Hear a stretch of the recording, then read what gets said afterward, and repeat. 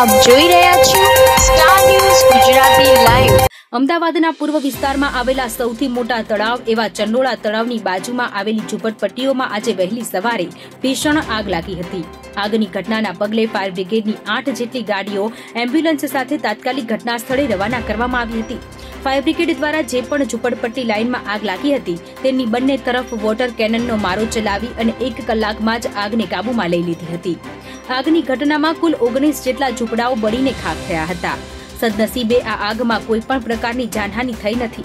Ahmedabad fire brigade તરફથી મળતી માહિતી મુજબ આજે વહેલી સવારે ચાર વાગ્યાની આસપાસ દાણી લીમડા વિસ્તારમાં ચંડોળા તળાવમાં આવેલી ઝૂંપડપટ્ટીઓમાં આગ લાગી હોવાનો મેસેજ મળ્યો હતો, જેના પગલે ફાયર બ્રિગેડની આઠ ગાડીઓ અને એમ્બ્યુલન્સ સાથે રવાના કરવામાં આવી હતી. ઝૂંપડપટ્ટીઓમાં આગ શરૂ થઈ ગઈ હતી અને તેમાં ગેસ સિલિન્ડર બ્લાસ્ટ થયા હતા. ફાયર બ્રિગેડની ટીમ દ્વારા જે આગ લાગી હતી, તેમાં ઝડપથી કાબુ મેળવવાના પ્રયાસ શરૂ કરવામાં આવ્યા હતા. અને જે તરફ આગ વધુ ફેલાઈ હતી, તે તરફ પાણીનો મારો ચલાવી અને આગને કાબૂમાં લેવાનો પ્રયાસ કરવામાં આવ્યો હતો.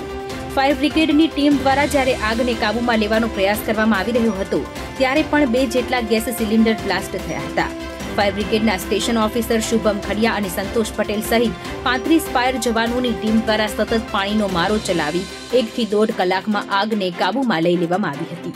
આગમાં કુલ ઓગણીસ ઝૂંપડાઓ સંપૂર્ણપણે બળીને ખાક થયા હતા.